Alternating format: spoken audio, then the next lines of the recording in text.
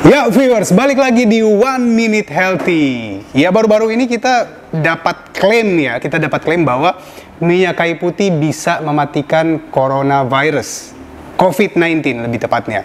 Uh, bagaimana dengan tanggapan saya? Kalau tanggapan saya begini, saya berdasarkan jurnal dan tidak ada jurnal satupun yang saya temukan bahwa COVID-19 itu bisa dimatikan oleh minyak kayu putih. Memang minyak kayu putih itu bisa meringankan beberapa gejala seperti pilek, uh, flu, dan beberapa gejala ringan yang lain. Tapi kalau dikatakan bahwa minyak kayu putih itu bisa mencegah itu belum ada jurnal yang saya temukan.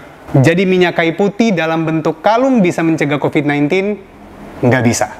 Belum ada jurnal yang mengatakan bahwa itu bisa. So, tetap stay di protokol, cuci tangan, pakai masker, jaga jarak. Stay safe, stay healthy.